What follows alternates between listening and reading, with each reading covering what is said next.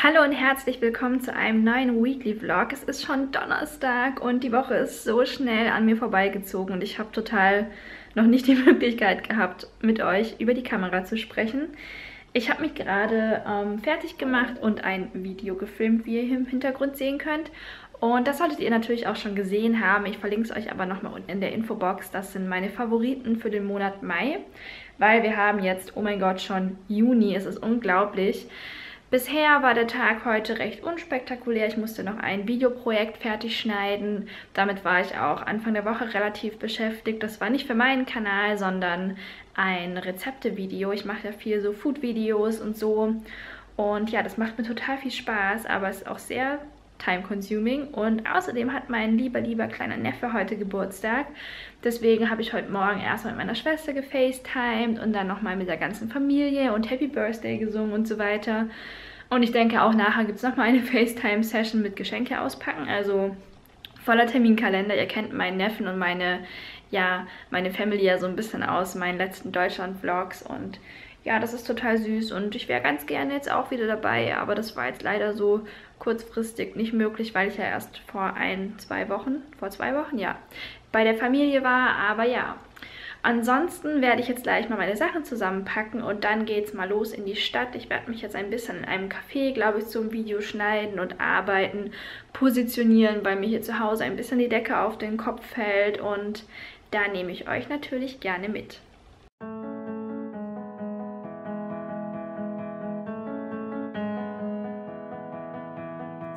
Sigh if my dreams are only dreams And it may not be the drawing that I drew Oh, I wish I had a better plan, but so it seems that I don't know what the world wants me to do. Oh, this road is long and long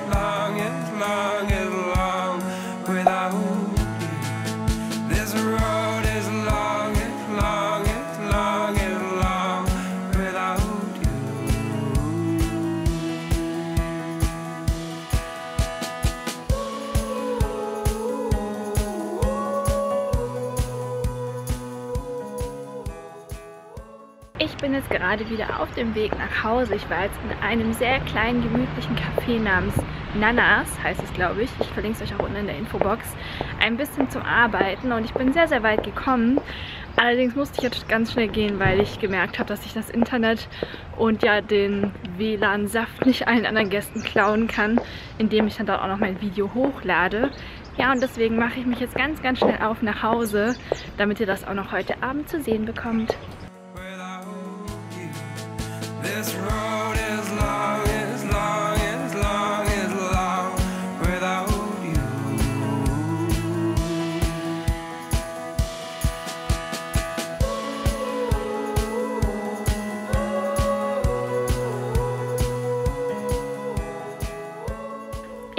Wieder zu Hause angekommen und ich habe so extrem Hunger. Ich mache mir jetzt erstmal was zu essen, koche so ein bisschen auch vor, aber werde das auf jeden Fall auch gleich essen müssen, weil ich einfach heute noch so wenig gegessen habe. Und zwar eine Linsensuppe. Ich zeige euch das diesmal so, dass ihr ein bisschen besser sehen könnt, wie ich es mache. Und ich habe das Rezept auch schon auf dem Blog. Deswegen verlinke ich euch das auf jeden Fall auch unten in der Infobox. Die ist sehr lecker. So, als erstes braucht ihr einen Teil Linsen, also je nachdem wie viele ihr wollt, zum Beispiel einen Becher voll. Und das mischt ihr dann danach mit zwei Teilen Wasser, aber erstmal die Linsen sehr gut abwaschen. Das ist ganz wichtig.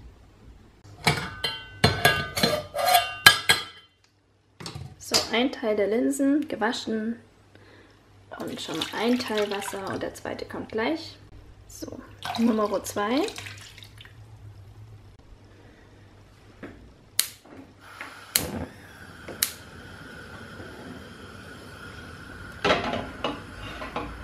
Dann das Ganze erstmal aufkochen lassen. Und dann kommt noch Kokosmilch dazu und dann eigentlich nur noch Gewürze. Und das war dann so quasi das Basic-Rezept. Dann kann man das natürlich noch nach Lust und Laune aufpeppen. Da schauen wir gleich mal, was wir noch alles machen. An Gewürzen tue ich vor allem neben Salz und Pfeffer und eventuell so ein ganz bisschen Gemüsebrühe vor allem folgendes rein. Kurkuma mit etwas Cayennepfeffer, ganz wichtig, dass das zusammen gut funktioniert. Etwas Zimt, entweder so oder eventuell auch als Zimtstange. Dann etwas ähm, Garam Masala oder Curry. Mache vielleicht auch so eine kleine Mischung aus beidem und ähm, ein paar Kardamomkapseln. Die sollte man aber nicht unbedingt mitessen, sondern dann beim Essen quasi darauf achten, dass man die dann rausfischt. Ja, und das ist eine ganz, ganz leckere Mischung. Hm, guckt euch das mal an. Das beschlägt jetzt schon meine Kamera, weil es jetzt auch gleich schon Zeit wird, Hupsala, für die Kokosnussmilch. Aber schaut euch mal diesen Gewürzcocktail an. Und ich habe gerade hier überall mächtig rumgesaut. Huch. Noch ein paar Karotten reinmachen oder sich so ein kleines Currygemüse dazu machen. Auf jeden Fall eine sehr, sehr leckere und vor allem auch sehr schnelle Angelegenheit, werdet ihr gleich sehen. Es dauert gar nicht lange. Die Linsen müssen dann komplett andicken und dann habt ihr eine ganz dickflüssige Suppe. Das ist echt so ganz klassisches Linsendahl. Total lecker und wie ihr seht auch vegan und super, super schnell und einfach. Ich habe jetzt beschlossen, noch das Intro und das Outro für ein weiteres Video zu drehen, nämlich vermutlich für das am Samstag oder nächsten Donnerstag, je nachdem. Und zwar will ich nochmal ein Food Diary machen, einfach weil es mir gerade so viel Spaß in der Küche macht. Ich habe jetzt einfach gedacht, ich lasse alles so, wie es ist. Habe nur diese zwei Strähnchen hier aufgemacht und ich habe mir eben noch den Pulli hier drüber gezogen von H&M, den ich schon ewig habe. Und die Kette ist auch von H&M. Und habe einfach noch einen anderen Lippenstift drauf gemacht. Und zwar ist der von Chanel. Ich zeige ihn euch gleich auch nach dem Video also nachdem ich das Video gedreht habe. Und das ist so ein ganz lang anhaltender Matter. Und ich finde den wirklich sehr, sehr schön. Ich glaube, in dem Licht hier seht ihr das ein bisschen besser. Also, ja, ein alter Favorit mal wieder ausgepackt. Und jetzt, ihr seht es schon, werde ich mich dem Film etwas widmen.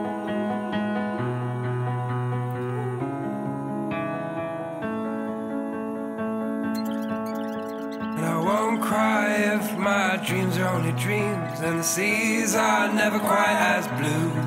Oh, this road is long and long and long and long without you.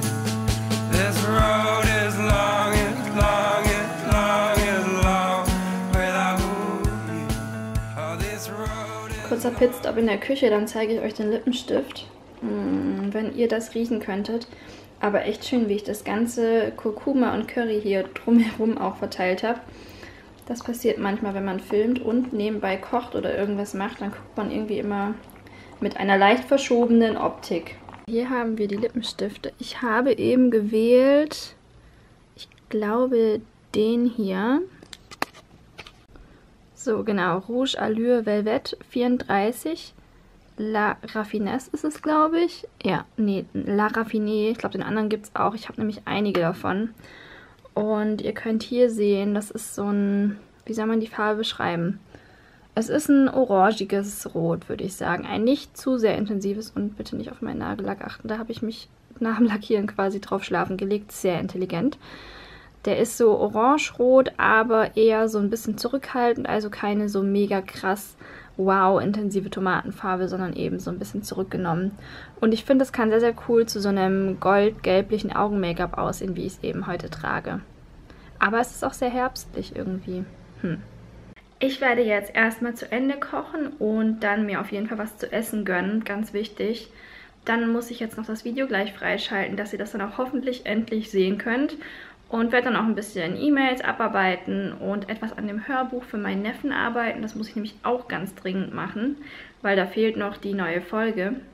Bin wieder mal sehr spät dran. Und ja, dann melde ich mich auf jeden Fall nochmal bei euch. So, es dampft kräftig. Noch ein ganz kleines Update. Ich habe hier noch ein bisschen Gemüse dazu gemacht. Das werde ich nachher noch in die Suppe reingeben. Und zwar Karotten, Sellerie und Schalotten. Und Fenchelsamen habe ich da noch mit reingemacht. Und der braune Reis ist auch fast fertig. Und so sieht dann das fertige Ergebnis aus. So, die Zeit geht so langsam ins Land und ich arbeite gerade an ein paar Illustrationen für ein neues Projekt. Ähm, dazu, wie gesagt, später oder irgendwann mal mehr. Und ansonsten läuft gerade im Hintergrund ziemlich laut die Waschmaschine, deswegen habe ich das Vloggen auch bisher eher gelassen.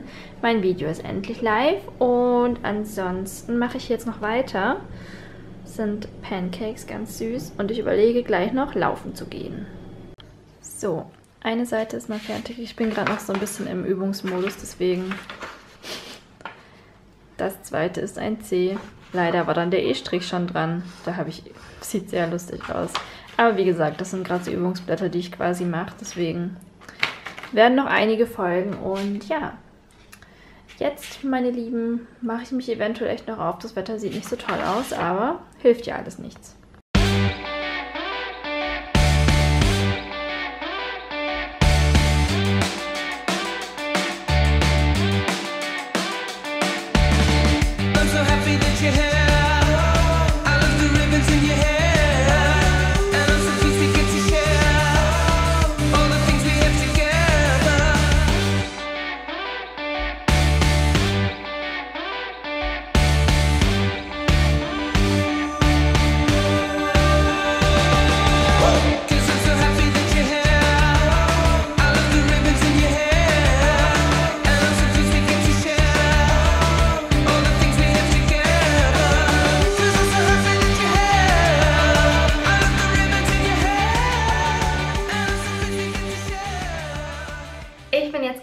Laufen wiedergekommen und gönne mir jetzt einen kleinen Snack. Ich hoffe, ihr könnt es einigermaßen sehen. Ich werde den Vlog jetzt an der Stelle auch beenden, weil heute passiert nichts mehr Spannendes. Eventuell verbringe ich jetzt nämlich einfach den restlichen Abend damit, den Vlogtag schon mal zu schneiden und die Küche aufzuräumen, weil hier sieht es ganz schön schlimm aus. Ja, und dann sehen wir uns aber ziemlich sicher morgen oder übermorgen wieder. Bis dann! Hallo, herzlich willkommen zu einem weiteren Wieso kündige ich das so super offiziell an? Hallo, willkommen zu einem weiteren Vlogtag. Heute ist Samstag. Es wird ein sehr wochenendlastiger Weekly Vlog, weil einfach nicht so arg viel passiert ist. Und auch heute Morgen war ich erstmal damit beschäftigt, das neue Video online zu stellen. Ich habe ein Food Diary gedreht. Ich verlinke euch das auch unten in der Infobox und haben lecker gefrühstückt und das habe ich euch jetzt aber nicht gezeigt, weil ich nochmal genau das gleiche gegessen habe wie in dem Food Diary, weil es so lecker war. Eine Pina Colada Smoothie Bowl. Und jetzt habe ich mich gerade schon schick gemacht, wie ihr seht. Und gleich geht es in die Stadt, weil wir ein ganz aufregendes Video drehen werden. Und da nehme ich euch auch diesmal etwas mehr mit. Ich bin schon ganz gespannt, was ich euch zeigen kann. Leider ist das Wetter mal wieder in totaler Londoner Manier nicht so wundergut. Wundergut, wunderschön. Und ich hoffe aber, dass es mit dem Gewitter noch ein bisschen auf sich warten lässt, weil wir echt dringend anfangen müssen, ein paar Szenen dafür zu drehen, weil ich auch morgen dann nochmal dafür komplett irgendwie den ganzen Tag aufwenden werde. Und irgendwann muss das Ding dann ja auch mal fertig werden. Es geht zum einen um Outfits. Ihr könnt auch gerade schon sehen, ich habe heute auch etwas ganz Cooles an. Und deswegen werde ich, glaube ich, bei den Outfits, die ich für das Shooting anhabe, diesmal diese nicht in der Infobox aufführen, weil ihr noch dann auf das Video warten müsst, wo die dann drin sind. Aber es dauert nicht mehr lange, deswegen keine Angst, ich will euch nicht großartig teasen. Und wenn ihr in die Kommentare irgendwas total unbedingt wissen wollt und fragt, dann werde ich, glaube ich, auch auf jeden Fall dann darauf antworten. Ich will ja niemanden zu lange auf die Folter spannen. Ja, und dann würde ich sagen, jetzt packe ich mal meine Sachen zusammen und dann geht es auch gleich schon los.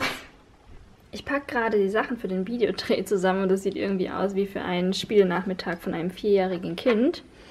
Aber es wird eine ganze Menge Spaß machen, das könnt ihr mir glauben. Eine weitere Outfit-Option. So, jetzt noch ein bisschen Erwachsenenspielzeug, das muss ja auch sein. Hello, little buddy. So, den ganzen Tag nichts gevloggt, weil absolut keine Zeit gehabt und total Hunger. Und jetzt wohlverdient Hier sind die Pommes. Sehr lecker. Willst du jetzt deinen Burger mal testen? Ja.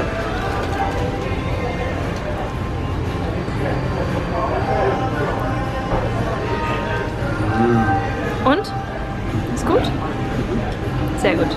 Ich bin gerade zur Tür hereingekommen und ich bin super K.O. Ich habe als allererstes mal meine Haare zusammen gemacht. Und ja, der Dreh war total super. Allerdings ähm, war es mega stressig, wie jedes Mal. Also es ist einfach immer so ein bisschen, klar, man nimmt sich dann so viel vor, man hat so wenig Zeit und überhaupt. Aber es hat sehr gut geklappt und wir haben draußen gefilmt. Und witzigerweise war die erste Location da, wo wahrscheinlich gestern die Sommerparty oder Sommerfest von Style Hall war, also dem quasi Pendant zu Magnolia von Gleam hier in England. Ja, ganz lustig, da hingen noch überall die Schilder davon. Ich war so, huch, Mal gucken, wer hier um die Ecke kommt. Aber leider niemanden gespottet. Und ja, der Dreh war super. Ich habe jetzt nur noch einen Wunsch und zwar, ich habe ja auch eine ganz schlimme Verbrennungswunde. Also mein einziger Wunsch gerade ist einfach nur noch, mich abzuschminken, das ganze Make-up runterzunehmen und mich ein bisschen zu entspannen mit Jimmy. Vielleicht ein paar Videos schauen und dann natürlich das Material zu sichten. Da bin ich auch sehr gespannt. Und ich würde sagen, Spannendes wartet heute nicht mehr, deswegen verabschiede ich mich, solange ich noch einigermaßen schön aussehe von euch. Und ich nehme euch auf jeden Fall morgen nochmal mit, weil mal schauen, was morgen noch so ansteht. Da werde ich auch nochmal drehen, aber vielleicht schaffe ich es dann ein bisschen routinierter, die Kamera auch rauszuholen. Aber diesmal hätte es einfach noch zu mehr Stress geführt und einfach unsere Zeit noch mehr verknappt. Deswegen, ja. Dann bis morgen. Gute Nacht. Hallo, herzlich willkommen zu einem weiteren Vlogtag. Es ist Sonntagvormittag. Ich bin auf dem Weg in die Stadt, mal wieder für den Dreh. Deswegen auch gewappnet mit dem Kimono und den entsprechenden Klamotten. Und es ist heute endlich mal ein bisschen sonniger. Das ist natürlich sehr gut. Zum einen fürs Video und zum anderen auch für den allgemeinen Stimmungszustand. Was ich euch allerdings gestehen muss, ist, dass ich total Lust auf einen No-Make-up-Sunday gehabt hätte. Und deswegen jetzt ein bisschen, naja, sag mal, nicht traurig bin, aber irgendwie hatte ich nicht so Lust, mich fertig zu machen. Aber gut. Ja, und dann gucken wir mal, was der sonnige Tag heute so mit sich bringt. Ich muss noch schnell die Vorspeise festhalten, bevor sie ganz weg ist, weil sie der Oberhammer ist. Und die Kokosnüsse. Kokosnuss? Perfekt. Bei dem Wetter.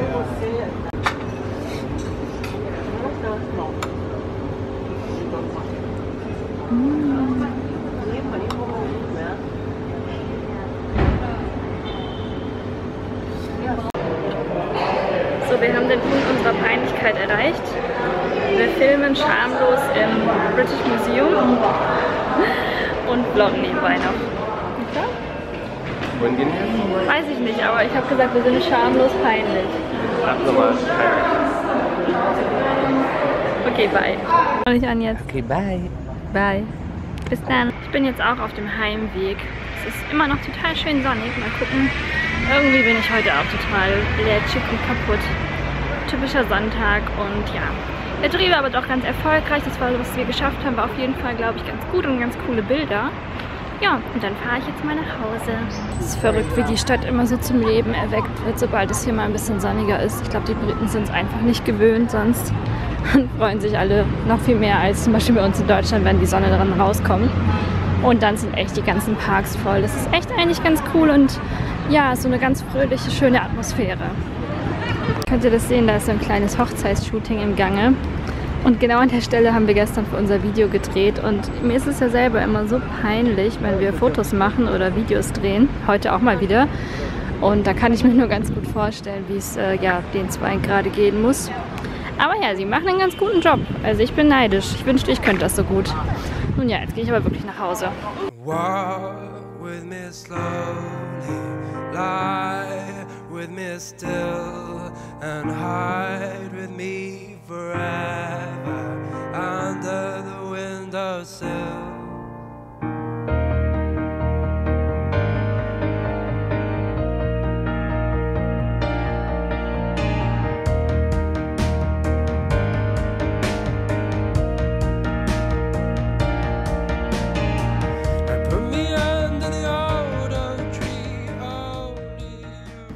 Kleines Behind the Scenes. Ich versuche gerade eine Timelapse zu filmen. Die Sonne geht gerade unter. Ja. Und wir schauen mal, wie das so klappt. Vermutlich nicht so gut. Beim letzten Mal hat es zumindest nicht geklappt.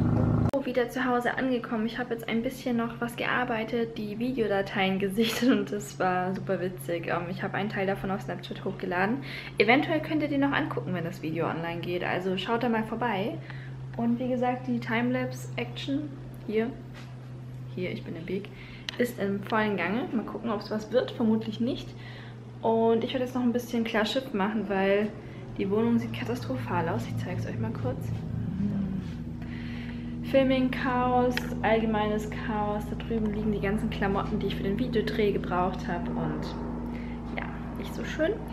Und das werde ich jetzt mal beseitigen, damit ich dann irgendwie in eine gute, frische Woche starten kann am Morgen. Und ich denke, ich melde mich nachher nochmal kurz. Ich glaube, wir wollen heute Abend noch ein bisschen entspannen, uns irgendwie ein paar sommerliche Drinks mixen und ja. Aber es ist auch schon jetzt ähm, kurz vor halb neun, also so viel vom Abend bleibt dann auch nicht mehr übrig. Und ja, dann bereite ich mal die Wohnung vor, dass die wieder in einem einigermaßen schönen Zustand ist. Ich habe gerade noch mal meine ganzen Pinsel gewaschen. Ich habe hier auch noch einen kleinen Tipp für euch. Das ist ein altes T-Shirt von mir. Und zwar habe ich so viele T-Shirts irgendwie, die ich so schlafi-mäßig anziehe, aber wo dann irgendwie doch schon mal Flecken drauf sind, die gar nicht mehr rausgehen. Und ich habe mir jetzt vorgenommen, mich dann immer von denen zu trennen und die in so Putzlappen oder ja, so wie ich das jetzt hier eben benutze, so als Unterlage zum Trocknen für die Pinsel. Ich schneide die dann einfach alle so auf und ja, weil irgendwie ist das Leben dann doch auch zu kurz, um andauernd immer noch T-Shirts mit Schokopuddingflecken anzuhaben, oder? Sorry erstmal für eventuell schlechte Lichtverhältnisse. Es ist eigentlich schon fast dunkel draußen. Das ist jetzt hier nur mit dem Gegenlicht sieht es total hell aus. Das ist aber gar nicht. Und ich habe mich jetzt kurz hier, wie ihr seht, in meinen Sportdress begeben. Ich habe gerade eben das neue Video von Naomi Smart angeschaut. Sie hat eine Weekend-Workout-Routine hochgeladen. Das fand ich total inspirierend. Und weil ich gerade irgendwie so ein bisschen down und kaputt und fertig war, habe ich dann jetzt spontan beschlossen, doch noch Sport zu machen am Wochenende. Ich habe eigentlich, ich habe wirklich schon genug Sport gemacht die Woche. Daran liegt es jetzt wirklich nicht, aber irgendwie fühlt man sich danach, also ich fühle mich danach zumindest irgendwie immer besser und ist ein sehr motivierendes Gefühl, dass man dann irgendwas geschafft hat, sich nochmal aufgerafft hat. Ja, und das mache ich jetzt noch. Aber ich gehe erst kurz eine kleine Runde mit Jimmy, ganz bequem laufen. Also wirklich langsam, weil das habe ich glaube ich schon ein paar Mal gesagt, mit ihm richtig joggen gehen kann ich momentan leider nicht mehr. Und dann werde ich entweder noch ein bisschen selber eine richtige Runde drehen oder das Workout-Programm machen oder einen Teil des Workout-Programms, was sie in ihrem Video vorgestellt hat. Das fand ich nämlich echt total gut und jetzt bin ich total unscharf. Das ist dieses Problem mit dieser Kamera, von dem alle sprechen, dass sie nach einer Weile mit dem Autofokus aufhört ähm, zu funktionieren. Nun denn, ähm, ja, dann mache ich mich jetzt mal auf nach draußen, bevor es komplett dunkel ist. Bis gleich. So, der Drink wurde mir gerade kredenzt sozusagen. Vielen Dank dafür. Und wir gucken jetzt den aktuellen Tatort aus Berlin und essen noch ein bisschen was und dann gehen wir auch ganz, ganz schnell ins Bett ja, das war's dann mit dem Weekly Vlog. Ich hoffe, er hat euch gefallen und ich verlinke euch wie immer die Weekly Vlog Playlist und dann sehen wir uns ganz, ganz bald in einem neuen Video wieder. Bis dann!